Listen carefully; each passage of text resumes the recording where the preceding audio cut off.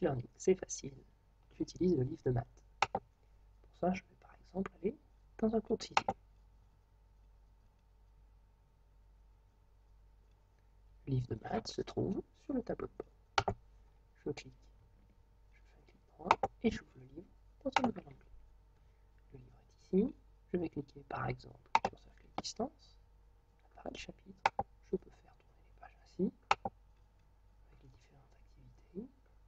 Si je clique, je fais apparaître en plus grand une zone de texte et je peux avoir accès à différentes zones animées.